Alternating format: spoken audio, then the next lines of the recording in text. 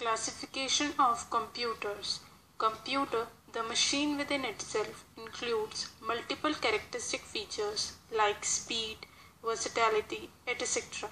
If we further explore these features with respect to computer in detail, we will come to know that classes of computers are made on them. Classification based on size and speed.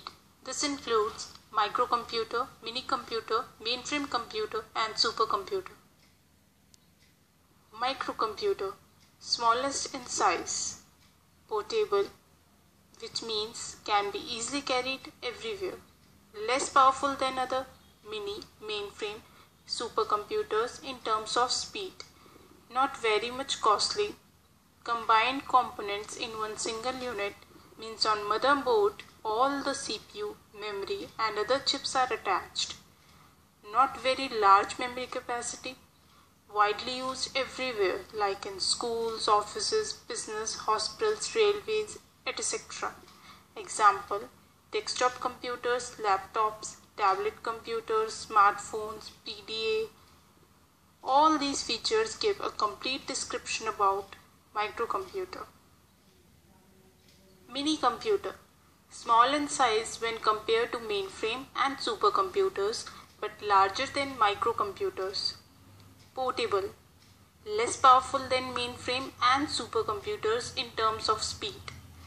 Cost more than microcomputers but lower than mainframe and supercomputers. Average memory capacity mostly used in large departments, universities for database management and other tasks.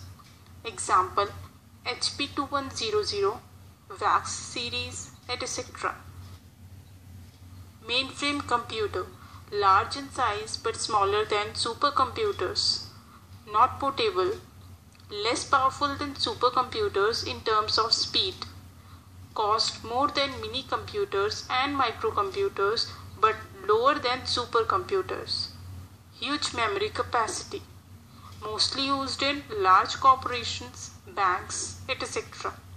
Examples IBM Z14, Hitachi Z800, etc. Supercomputer, largest in size, not portable, most powerful or speedier, most expensive, huge memory capacity, widely used in weather forecasting, nuclear research, scientific research, etc. Examples Saga 220, Param, etc. Classification based on data is divided into three types analog computer, hybrid computer, digital computer. Analog computer works on data which contains signals or continuously varying values. Examples speedometers, seismograph, etc. Digital computer works on binary digits 0 and 1. Four main types of digital computers are microcomputer, mini computer, mainframe computer, supercomputer. Examples desktop computer, laptop, etc. Hybrid computer Combination of analog and digital computers create hybrid computers. Takes input in analog form and convert the received analog input into digital data and process it. Examples ECG machine in hospitals, etc.